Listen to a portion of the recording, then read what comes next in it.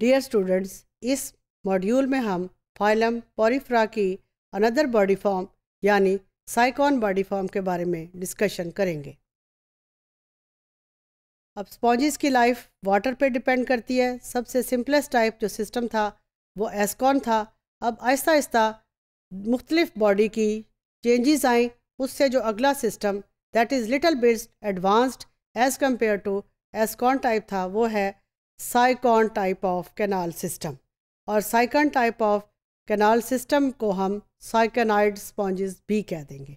अब वो एनिमल्स जिनके अंदर ये sycon type of canal system होगा, उनको हम साइकनाइड स्पॉन्जेस भी कह देते हैं। अब इसके अंदर सेल्स वही होंगे जो कि एस्कॉन में है। लेकिन उनकी अरेंजमेंट जो है, वो लिटल बिट कम्प्लिकेटेड है। एस्कॉन सिंपलेस्ट है, अब यहाँ से लिटल बिट एडवांसमेंट स्टार्ट हुई।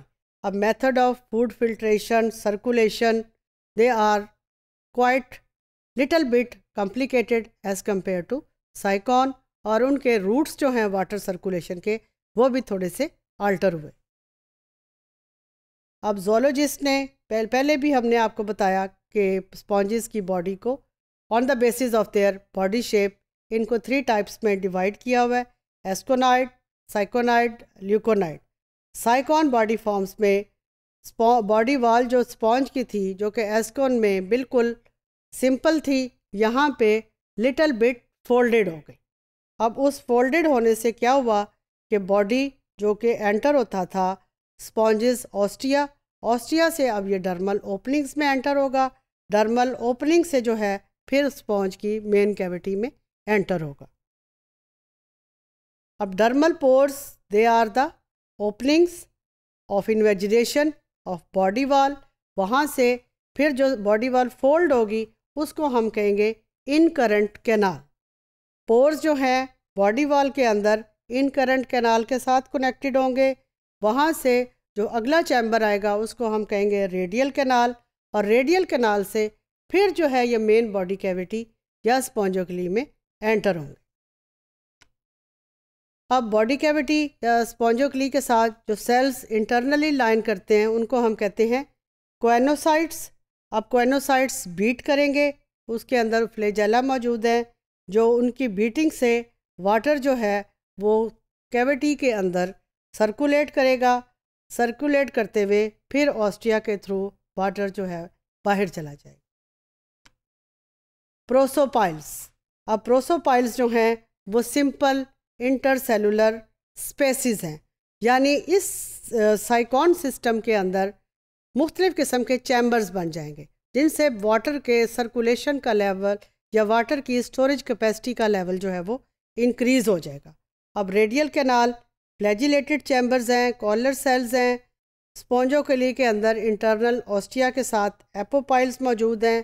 अब जितने ज़्यादा चैम्बर्स होंगे तो स्पॉन्जोकली जो है लिटल बिट रिड्यूस हो जाएगी। तो यहाँ पे हम ये कह सकते हैं कि यहाँ पे narrow non flagellated cavity that is lined by the pinacocytes अब इस डायग्राम में आप देखें, अभी जो हमने सारी बातें की they are more evident this is a typical type of sycon अब पहले हमने कहा था ascon type of canal system अब ये कैनाल सिस्टम जिसके अंदर वाटर एंटर होगा सर्कुलेट करेगा उसको हम कहेंगे sycon type of canal system. और ये जो एनिमल एग्ज़ाम्पल है दिस इज़ साइकॉन। यहाँ पे आप देखें ऑस्टिया।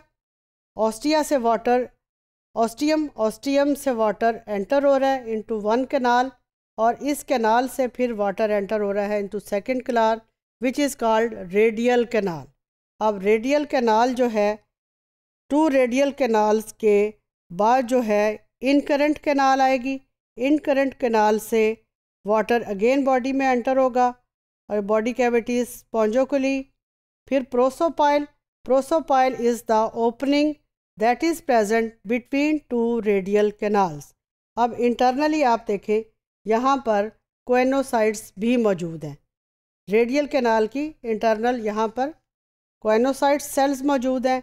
अब यहाँ पे जैसे ही बॉडी की कैनाल्स बनी या मुख्तलिफ़ किस्म के चैम्बर्स बने, वाटर की सर्कुलेशन का लेवल इंक्रीज़ हुआ बॉडी का साइज़ इंक्रीज़ हुआ, लेकिन इसकी मेन बॉडी कैविटी जो स्पॉन्जो के लिए है now it is little bit narrow as compare to that of the ascon type और यहाँ पे main body cavity is osculum so this is little bit more complicated type of canal system as compare to that of the Ascon type. And this is the second type of canal system, Syconite type of canal system.